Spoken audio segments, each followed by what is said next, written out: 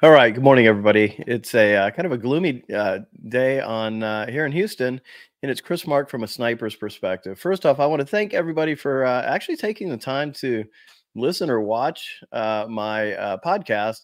last 24 hours, I've had, gosh, I think about 5,000 people spend the time to to listen and watch, which is, is to me pretty darn amazing. So thank you so much for that. And uh, so it seems like some people have interest in hearing amusing stories from my days as a sniper and in the military.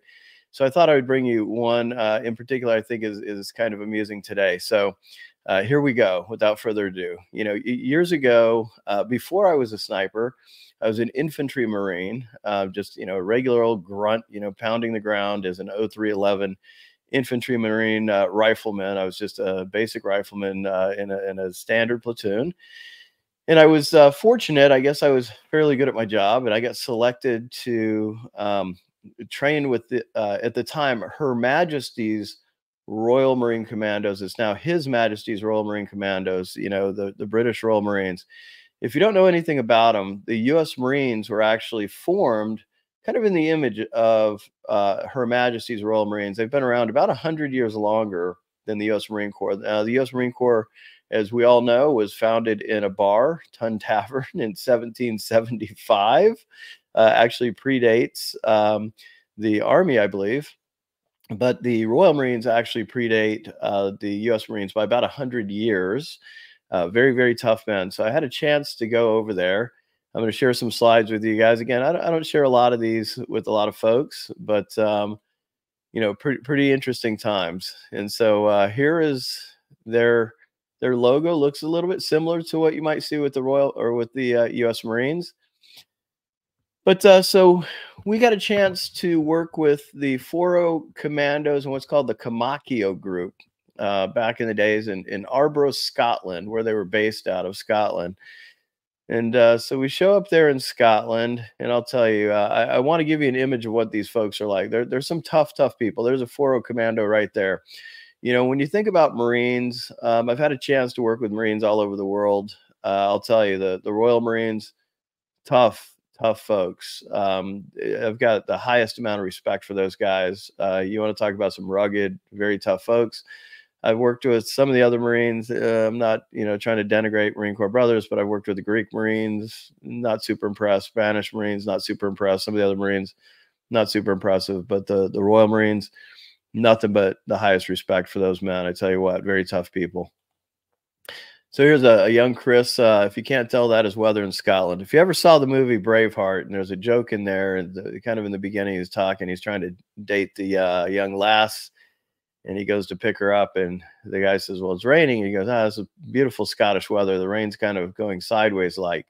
Well, that's pretty much uh, the the weather as I saw it in Scotland. Just about every day we were there, it rained, and we looked like this, like uh, you know, soaked to the bone just about every single day. And that's that's me on the bottom. We showed up. Who knows? We were on some kind of training evolution there. So uh, here's kind of how it went, and, and I'm going to tell you kind of an amusing story. This is going to be a fairly short podcast, but it is, I think, kind of funny. So we fly in from Virginia. Um, you know, we get to Arbroath, Scotland, probably about 2000. It's a Friday Friday evening so we have the meet and greet on Monday morning. So we show up 2000, which for you civilian types is 8 p.m. on a Friday evening. We get to the base, and the base is pretty much empty. And so we walk through uh, the chow hall. And keep in mind, the, the Royal Marines, there are only about 7,000 of those. So they're pretty small bases compared to U.S. military bases. And they have a chow hall. And we walk in there, and there's this hulking, hulking uh, Royal Marine in there, and he's uh, swabbing the deck. He's mopping. And I walk up to him and I go, Hey, uh, can you tell us where, you know, the barracks or whatever are? And he looks at me and he says in something guttural that to me sounds like this. And he kind of points. And I just kind of go, uh, thank you. And we kind of walk that direction. Well, I didn't know at the time what a Geordie was. And anybody that's ever spent time, as I have now, in um, the United Kingdom, and has spent time uh, up there. Uh, Geordie's on the piss. Newcastle, England, which is where they make Newcastle Brown Ale. The people up there are called Geordies. And they have a very peculiar accent. And if you're not used to it, it is like a foreign language. I think it's probably like a foreign language to even people, a lot of people in England themselves. Uh, Brian Johnson from AC/DC is a Geordie, and listen to him talk, and he's he's kind of refined the accent a little bit now, but uh, so couldn't understand this guy. We we were to find out later this Royal Marine, and when I say he was big, he played uh, for the NFL in Europe back when they still had that kind of farm team. He played for the London Monarchs. He was a huge hulking hulking man, very very very nice guy. Um, so we went to the barracks got dressed and everything. And like all good young Marines, we said, uh, you know what we ought to do? We ought to go out and meet the locals, which means, hey, let's go find a local bar and you know go have a few drinks and see if we can pick up some local lasses, right? And so uh, we, you know, get a taxi, go out to a local bar called Bally's. It's still open. You can look it up just like it sounds, Bally's. So we go out there and uh, having a good time. We're having a few drinks, uh, having a few pints, as they say over there, having a great time. And I'm talking to a young lass, and all of a sudden, I look over my shoulder and I see it the inevitable fight happening. Um, a U.S. Marine is already mixing it up with a local. We've been there no more than an hour, and there's a U.S. Marine throwing down with the locals. So at this point, it's an inflection point, and this is where your morality is tested. I'm sitting there thinking, huh. I'm sitting here talking to this beautiful young Scottish woman. I've been here, you know, an hour and things are going pretty well. But one of my brothers is in trouble and he's fighting. What should I do here?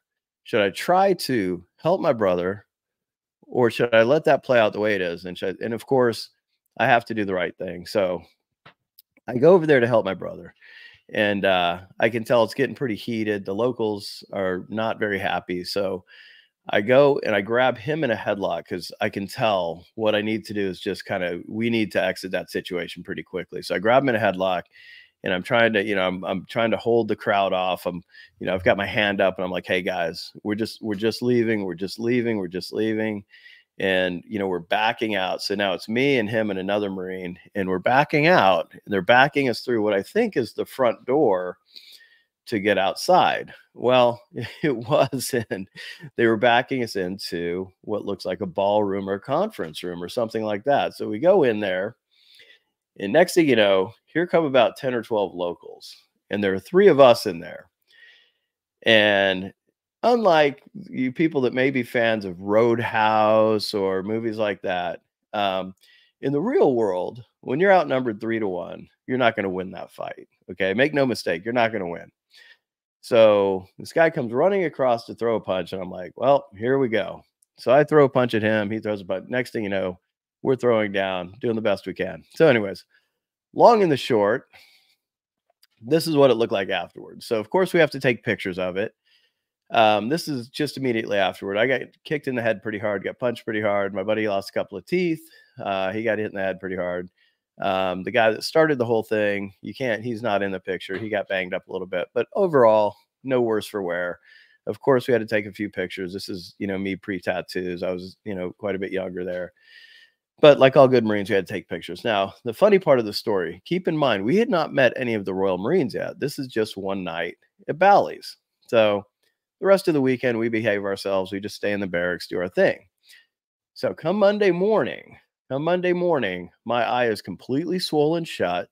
I got a couple of stitches in my head. My buddy has gotten his teeth, you know, fixed with some, you know, temporary dental stuff. His eye is swollen shut.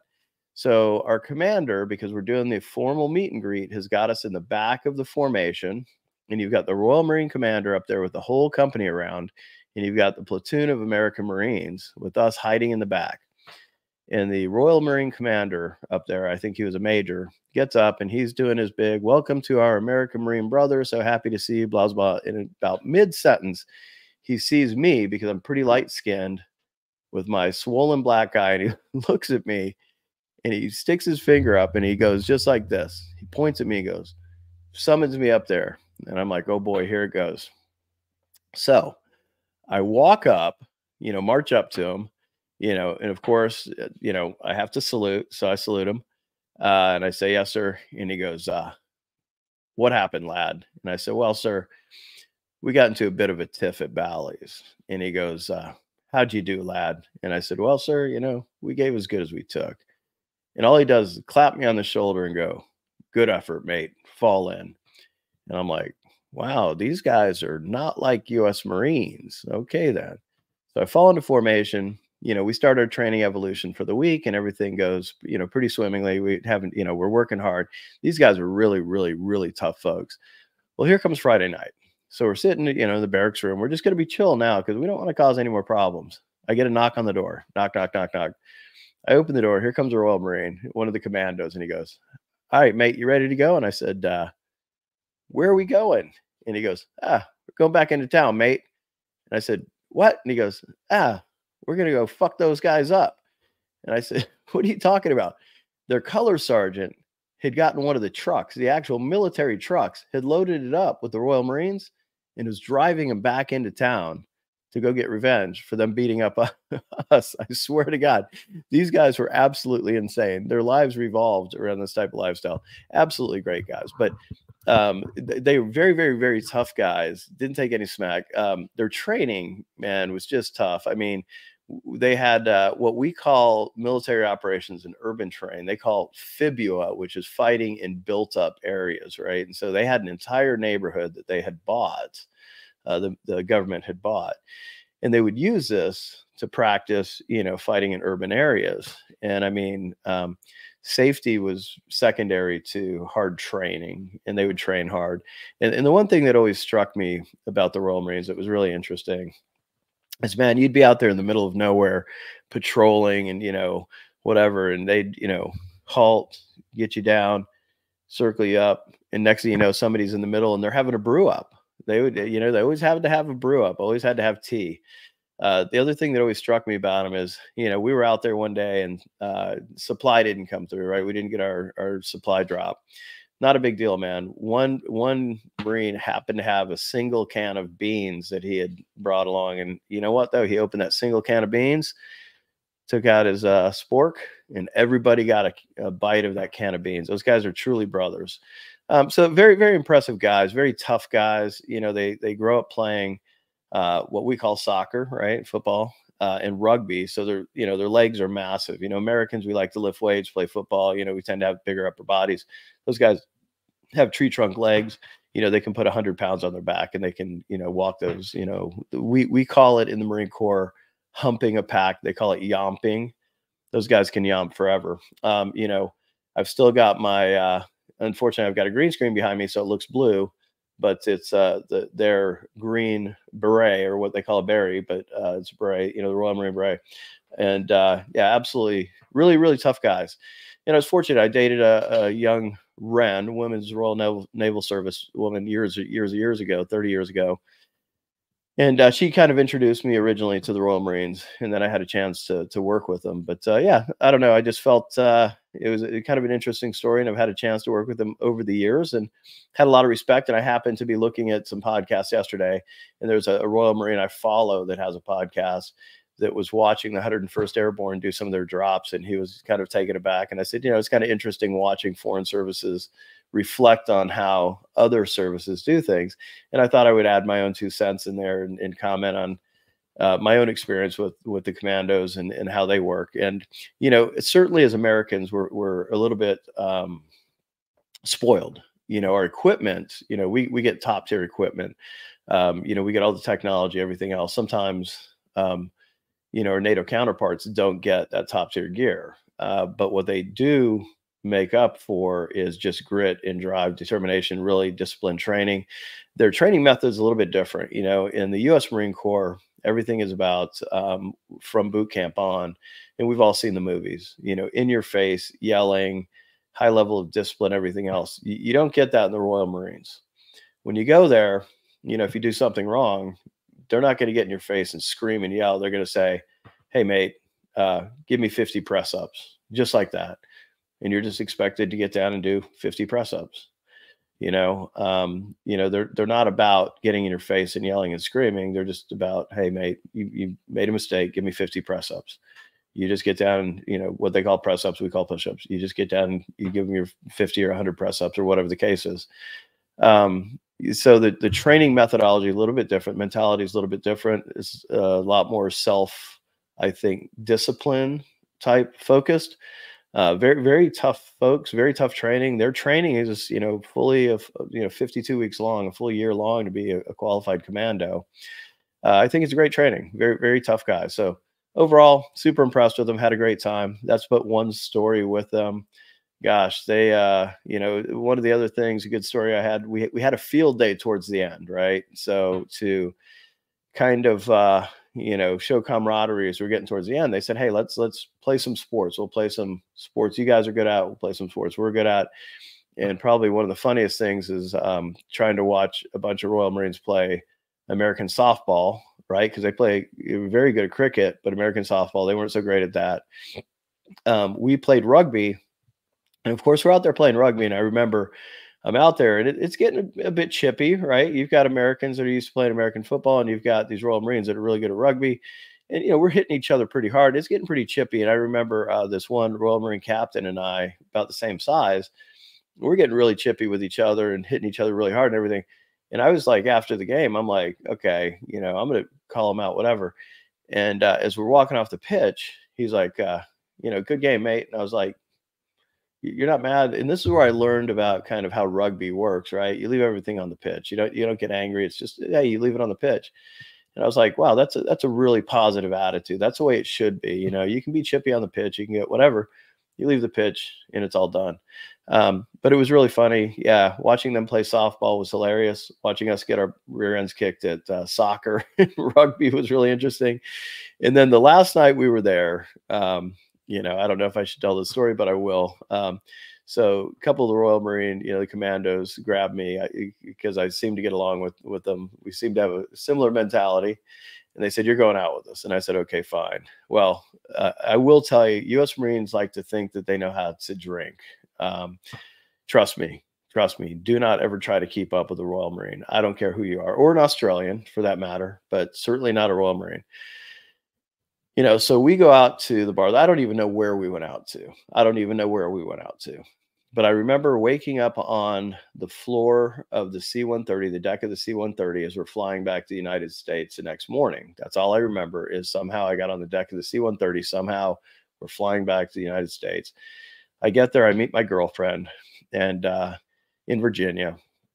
And this is back before digital cameras. And so I had a whole bunch of rolls of film. And I said, Hey, I've got to develop this film. She's like, cool. So we go to the mall, one of those little photo shops, and I drop off like five rolls of film, and we come back to get them, and they're staring at me, and they're like, we couldn't develop this film, and I'm like, why not? They just hand me a bunch of negatives, and I start looking at the negatives. I'm not going to describe what's on the negatives. Suffice it to say, the Royal Marines left me with some parting gifts that, um, yeah, they they had a good time with my camera and uh yeah they left me with some parting gifts. So overall fun funny man um, great sense of humor uh, very tough man you know don't take any guff from anybody tremendous warriors. Uh, you can read numerous stories about them in iraq afghanistan everywhere else just very very tough people but my own experience with them was nothing nothing but positive nothing but positive overall. I don't believe the Comacchio group's around anymore. I believe they were responsible for um, protecting uh, the nuclear assets in the submarines up in scotland and I think they've disbanded that group. Obviously, the commandos are still around, the 40 commandos, 42 commandos. But uh, again, just wanted to, I thought it would be an interesting story. People seem to like these. But uh, yeah, if you get a chance, do your uh, research on the, you know, His Majesty's Royal Marine Commandos. Of course, the most famous commando that's around right now is, I believe, Prince Harry is a, a commando. I believe he's commando qualified.